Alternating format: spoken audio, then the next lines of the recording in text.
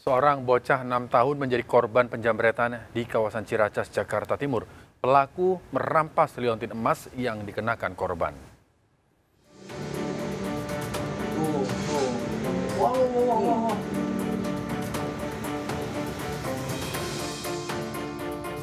Dari rekaman CCTV seorang bocah ini dijambret.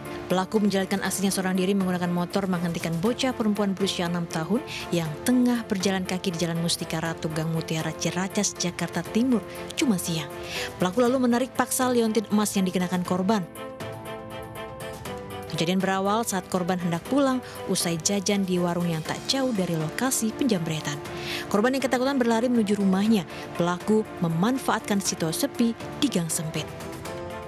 Dari sana dari, Dari ada dalam? putar di situ tuh Heeh. terus dipeper di situ akhirnya kan ayahnya ke sini Oh dia sebelah. nah langsung dijamret Oh, gitu yang aja yang diambil apa?